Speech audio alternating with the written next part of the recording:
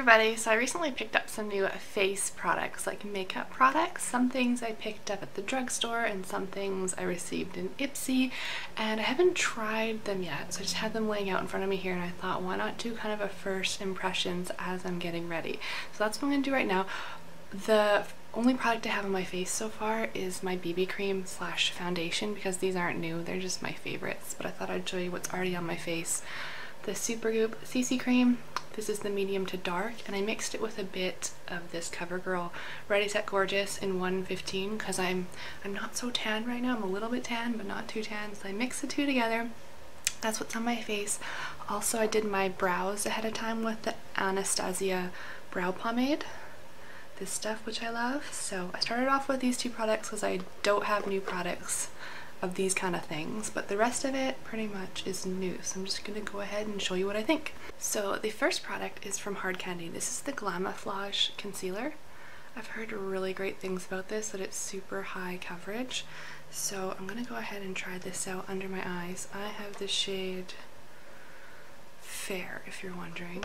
And if you're wondering why I'm not talking super loud, it's because Cassidy is sleeping. Well, it's a bit watery, so just gonna wipe that off. I'm gonna shake it up a bit first because it's separated a bit. Yeah, Cassidy's sleeping, so I don't want to be super loud, but hopefully you guys can still hear me fine. So I'm just gonna take a little bit on my finger because I heard a little bit of this stuff.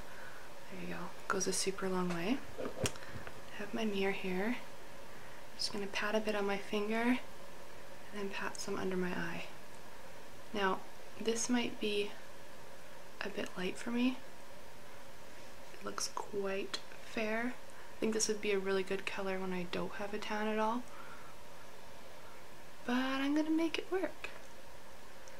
I'm just patting it kind of in a triangle shape underneath my eyes. It's very thin in consistency, that's for sure. There's one eye there. I'm just gonna do the other eye and then I'm gonna blend it in with my beauty blender but just from looking in the mirror here, it looks like it is pretty dang high, high coverage, that's for sure. I like to just drag a bit up onto my cheekbone for a bit of an extra highlight. Pat that in real well. Yeah, very thin in consistency, very brightening. Pretty darn good coverage put some down my nose, between my eyebrows. I get quite um, dark between my eyebrows. I'm not sure why. I have a little bit left on my finger and I'll just put it right here on my chin just to bring light to that area of my face. Alright, let's grab a beauty blender. Go. There it is. This is quite dirty. I actually need to wash this.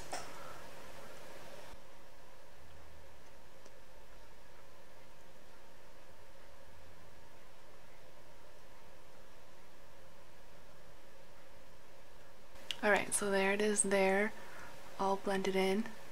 I think it's definitely a shade too light for me, but coverage-wise and consistency, it's quite nice. I'm curious to see how it holds up throughout the day. It also came with this Hard Candy Concealer Imperfection in Light Pale. It's a pencil. So I'm assuming this is more for like spot treatments. It's, it's decently creamy. I just tested it out on my hand.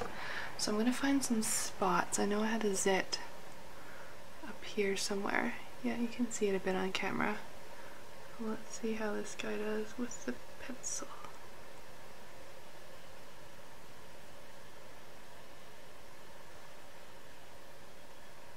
Pretty good. Other than the fact that it's too light. But um, that blended in with my BB cream really well. Is there anywhere else? I always have this sunspot right there. Or like broken blood vessel, I guess. Not sure if it picks up on camera. Hmm. Didn't do as well with the red color of this vein. But with the zit, it did pretty well with like the purpley tone. Alright. So undecided on the pencil, that's for sure. I'm gonna grab my favorite setting powder, the NARS. This is not new to me. I use this every day of my life. I'm just gonna set those products and then I'll move on to some other new products. Alright, so next is a bronzer. This is the Tarte Park Avenue Princess bronzer that it came in an Ipsy.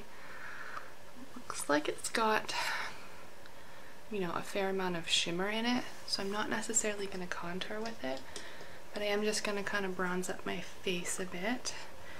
when I swatch it on my finger, um, it actually seems quite light, so I'm not too sure how much color is to show up.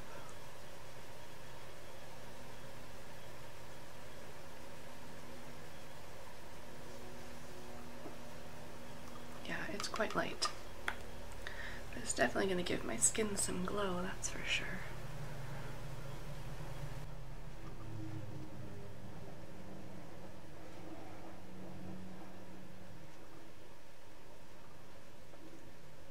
Alright, so that's what that looks like.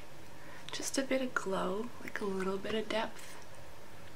Definitely not a contour, but I think this would be good for like beach days or where you're not wearing too much makeup but you want a bit of glow. Alright, the next product is a blush. Picked this up at Superstore. This is the Milani Powder Blush in the color Tea Rose. Look how pretty that packaging is open for me. And this is a matte blush, which are my favorites. There's the color there. It's pretty much what the name says. Well, it says tea rose. This is like a dusty type rose. So I'm feeling this is going to be quite pigmented because most Milani blushes are. So I'm just going to grab some, tap it off, and blow on it. I don't want to be crazy blush face. yeah, even with doing that, there's still quite a bit of color coming off, but that's a really pretty color. Look at that. That is quite pretty. I like that. Okay, let's do it again. Alright. It almost seems like, I don't know, in the viewfinder it looks a bit glowy. I think that's more the concealer though. It's a very natural, pretty color though. Right, for highlight, I've had this for a long time, but I've never actually used it. I think it came in an Ipsy a while back. This is Vintage by Jessica Liebeskind. I'm not sure how to say that. There it is there, and it's like a pink highlight, and I really like pink shades. So that's what that looks like, and then swatched, looks like that. So I don't think it's going to be too overpowering pink. Let's see how it looks. I'm just putting some on my fan brush.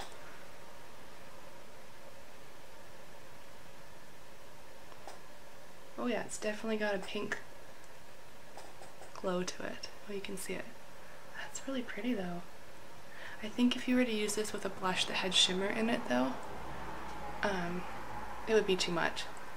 You definitely have to use it with pink products. You couldn't be using a coral blush and then this pink highlight. I think that would look a little crazy. I don't know, maybe someone's done it. It looks fine, but Ooh. Alright, the last product is a lip product. I'm not sure if I'm gonna like this or not, but it's from City Color and it's the Creamy Lip Stain in Flirtini. Another Ipsy bag um, thing that came in Ipsy bags. So I'm gonna try this out. Looks very pigmented a bit dangerous. Yep.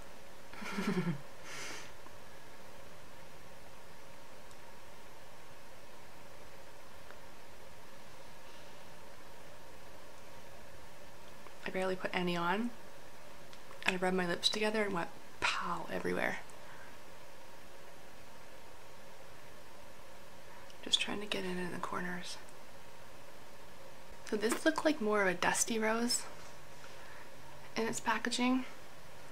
On the lips it's definitely got more like magenta to it. I don't know if this is my favorite color, but I wanted to try it out. I'm gonna let it dry.